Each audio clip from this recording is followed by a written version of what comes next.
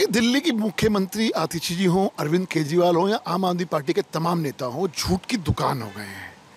वो दिखाने की कोशिश करते हैं कि हमारे साथ तो वेंडेटा पॉलिटिक्स हो रही है, हमारे साथ तो जाति हो रही है, लेकिन सच्चाई ये है कि आपको प्रोसीजर और एस तो फॉलो करनी पड़ेंगी।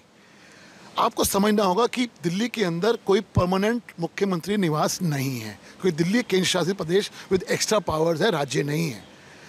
पहले जब मुख्यमंत्री 93 के अंदर खुराना जी हुए थे तो 33 शामनाथ मार्ग एलोकेट हुआ था। जब वो हटे, उसके बाद साप सिंह वर्मा जी मुख्यमंत्री बने तो जो वो मंत्री के नाते नौ शामनाथ मार्ग पे रहते थे, वो उनको एलोकेट हुआ था। बाद में मुख्यमंत्री के नाते उन्हीं ने उसी को रिटेन किया। बाद में वो अरविंद सिंह लवली रहे और अब आज की डेट में रामनिवास गोयल रहते हैं। तैतीस शामनाथ मार्ग जो है, वो आज की डेट में दिल्ली डायलॉग कमीशन का ऑफ़िस बना हुआ है।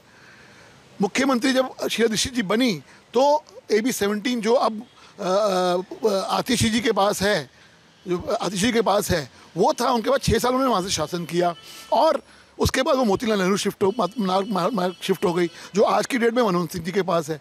तो इसलिए दिल्ली के पास कोई परमानेंट मुख्यमंत्री निवास नहीं है। आपको अगर सिक्स फ्लैग स्टाफ रोड रहिए तो आपको अप्लाई तो करना पड़ेगा। लेकिन सवाल ये है कि आप छिपाना क्या चाहते हैं? आप डर किस चीज़ से रहे हैं, अरविंद केजरीवाल साहब? ऐसा क्या है जो आपने दिल्ली की जितना की गाड़ी कमाई का पैसा आप सामने नहीं लाना चाहते और आप उसको छुपा के रखना चाहते हो? सवाल आज ये उठता है।